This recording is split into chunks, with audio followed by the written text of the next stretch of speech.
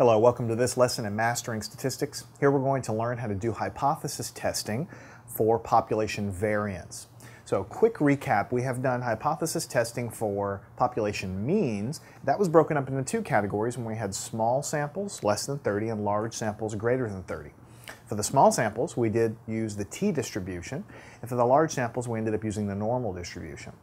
And then we did population uh, we did uh, hypothesis testing for population proportions. We did that very recently. In that case, we used the normal distribution. All right, and in there, in the middle of all of that, we learned how to use p-values to do our hypothesis testing. Now we're going to retrace our steps much like we did for confidence intervals, and we're going to be doing our population uh, hypothesis testing for variance, okay? Now, I expect that you have been following me through this statistics course for every volume and every topic up until now, and if you remember, we've done confidence intervals several sections ago, many, many sections ago, and when we did confidence intervals with variance, we ended up using a new type of distribution called the chi-square distribution. It's that fancy X with the square up there. So if you haven't uh, studied confidence intervals with me, I highly recommend that you go back to confidence intervals when we were dealing with variance because I introduced the chi-square distribution there. We talked a lot about it and such. I'll give you a quick recap of it here, but just remember that there's a lot more detailed explanation and usage uh, for, for those problems that we did back in the confidence interval. I'm kind of assuming that you're uh, comfortable or that you've been exposed to the chi-square distribution because I've covered it for those types of problems in the past.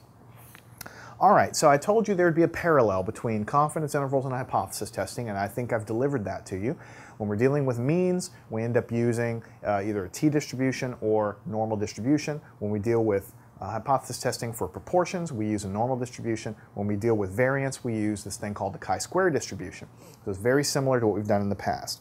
Now remember, if you haven't studied chi-square too much or if it's been a while, the chi-square distribution, it has a general bell shape to it, but the main difference, there's a couple of main differences between chi-square distribution and the other ones that we've been using. Uh, the biggest one is that the chi-square distribution is not symmetric.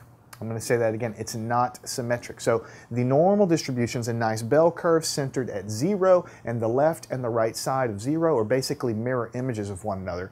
And the same is true of, the, of a t-distribution as far as being a mirror image uh, symmetrical. But the chi-square distribution is not, and that changes a few things in how we have to look things up in the table uh, here.